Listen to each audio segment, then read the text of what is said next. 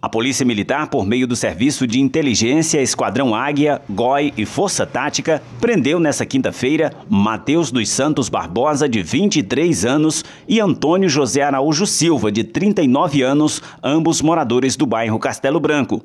Matheus é acusado de assaltar uma autoridade do Poder Judiciário na última quarta-feira. O assalto ocorreu em um bar da Avenida 1, no bairro Coab, na noite dessa quarta-feira, onde a vítima foi uma autoridade do Judiciário. O suspeito teria levado documentos pessoais e uma quantia em dinheiro. Diante das informações da vítima que nos foi repassado, através de nosso banco de dados que é existente no SI do 2 Batalhão, foi repassado as fotos dos prováveis suspeitos, sendo reconhecido por a vítima como sendo o autor do roubo ocorrido ontem.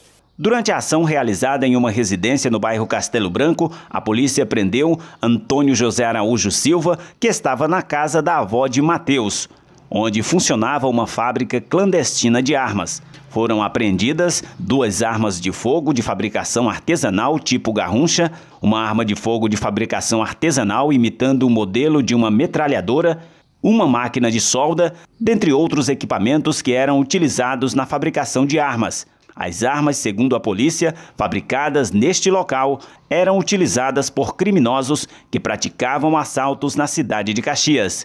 Matheus Barbosa também tem várias passagens no distrito policial em decorrência de práticas criminosas como roubo e porte ilegal de arma de fogo. E sabendo o endereço do acusado, é, este CPU, juntamente com a guarnição do GOIA, FT, o Esquadrão Águia, o Serviço de Inteligência, nos deslocamos até o referido endereço, onde conseguimos êxito em encontrar o suspeito e ao fazermos uma revista minuciosa no interior do, da sua residência, foi constatado no fundo do quintal uma fábrica clandestina de arma, arma de fogo.